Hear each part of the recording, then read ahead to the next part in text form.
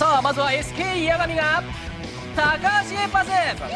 ここで大島を狙うが間一発セーフ。これまで以上にみんな必死だ。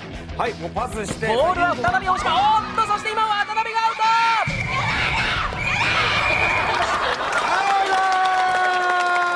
こんな発狂する渡辺見たことないな。なかなかこんな発狂するね。ト AKB 一の正統派アイドル渡辺大島のボールを避けきれず恥ずかしメイク決定。当たったもんだってさあ変身のお時間です。渡辺にやっていただくメイクはドゼイモンメイクでござい誰がドゼモンじゃ。んます口悪いよ。メイクの匠清人は渡辺をどんなドゼウモンに仕上げるのか。お願いします。どうぞ